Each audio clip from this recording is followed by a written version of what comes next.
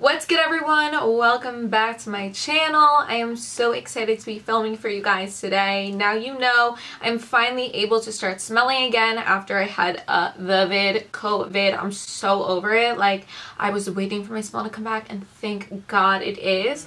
So next week I'm going to be going to the mall and getting some fragrances for you guys to review. I'm so excited.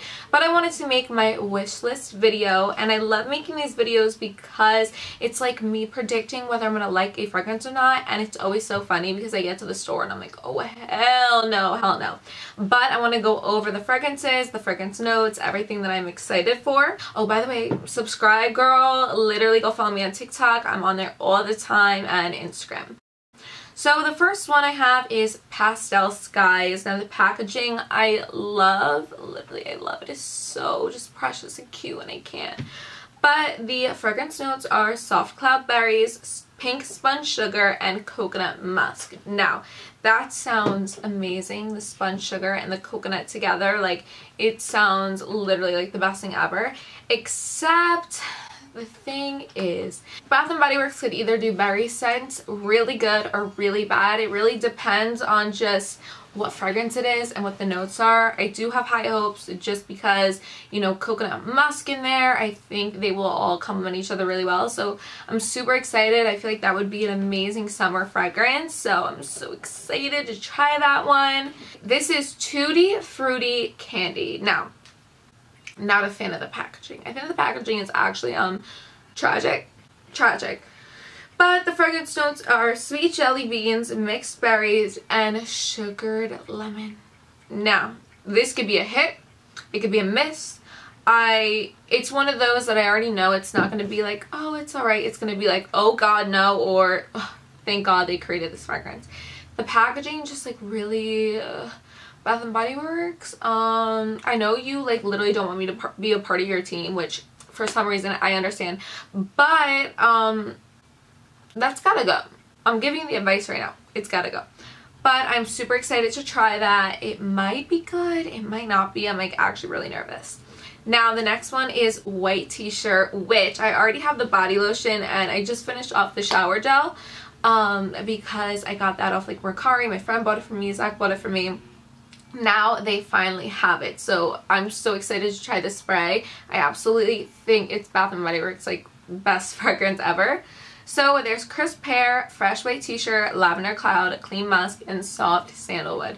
Beautiful. I'm telling you guys i always say when they add pear to fresh fragrances i don't know what it is. It complements each other so well like so well it's crazy and I used to not think so. I used to be like, what the heck? Why would pear and like fresh stuff go together? No, it is good, let me tell you. I don't really want bubbly rosé. I have enough fragrances that are on like the bubbly side, like Prosecco and stuff like, I don't know why I love them, but I'm kind of just, I have so many that I'm just like, I'm okay.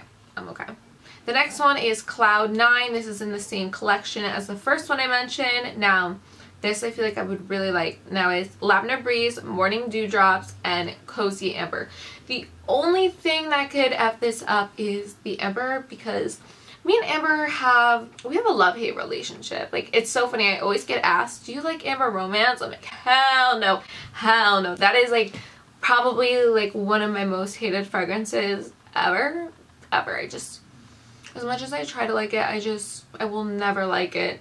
I'm not sure why but I have grown to enjoy amber fragrances a lot but the thing is with amber I don't like straight up amber. It needs to be mixed with something. So I'm hoping like the morning dewdrops really just like lift it and it's not as like amber. You know what I mean? Anyways there's whipped berry meringue. So let's read the fragrance notes. This I'm I'm skeptical to try but here we go it's fresh berries, whipped sugar, and fluffy vanilla.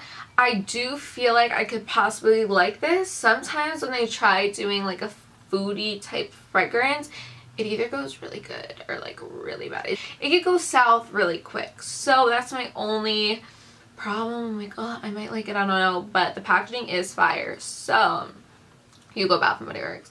They are getting better with fragrance packaging. Like they are. This next one is Copper Coconut Sands. Really like the packaging. It's like that typical summery vibe. Now the fragrance notes are sun-kissed coconut, soft orchid petals, and creamy sandalwood, which I just, I feel like I'm going to like this fragrance a lot. Now the coconut in there, I just love coconut fragrances. I think they mix so well with like body chemistry. Um, and then the sorf, the, the sorf, I cannot speak English. Um, literally someone buy me a dictionary immediately. Um, the orchid petals, the soft orchid petals is what it's called. I don't know, could it vibe? The creamy sandalwood and the, those two and the petals together, I could see definitely vibing, but um, the coconut in there, we'll see. I have I have faith in this one. I do have faith in this one. It does seem like something I would like. You know what? For the heck of it, let's look at Gingham Love. Let's look at the fragrance notes. I think I've smelled it before. Sugar Red Berries, Blushing Freesia, and Rose Meringue. I guess I just am biased. Anytime they try and do a different type of gingham, I'm like, canceled. No, like, I don't know why they will like call it like gingham love. Like, just call it a different, call it a different thing because then I'm like smelling it, I guess expecting one fragrance, um, just a little bit altered than another. You know how Victoria's Secret does it too? They'll be like bare vanilla, La Creme or something which I love but it will not smell anything like bare vanilla I'm like boo stop being lazy come out with a new name you know but I am, honestly, we will smell that. I'm not going to be biased. I will try it out. Ooh, you guys, you guys, I have faith. I have hope. So, this is Pink Pineapple Sunrise. Now, the fragrance notes are sweet pink pineapple, palm sugar, and sun-drenched nectar. I um, am beyond excited. I will probably pass out and die if it is bad. Any whoosies? Next one. This is Peach Prosecco Macaroon. I'm... Okay, listen. The Prosecco, I don't know. But it potentially could be good, but I have a strong feeling I'm not going to buy it. It says Peach Prosecco, Vanilla Cream, and Macaroon Cookie. I mean, I don't know. I don't really have hope in that one. Ooh, I didn't see this one. Pear Creme Brulee baked pear, caramelized sugar, and whipped cream. Oh, I might like that. I might really enjoy that. I'm excited. That one I have definitely hopes in. Uh, you guys, this is my Chuckles. You guys are finally meeting him. He is a mush ball. He's actually a stray. And he's my baby for life. Guys, it's so funny. People come over. I'll be like, yeah, you can pick him up. He's just a mush. He's a little stuffed animal. No. You guys, this is my child. He's the sweetest cat. I don't know how he was stray. Hello. No.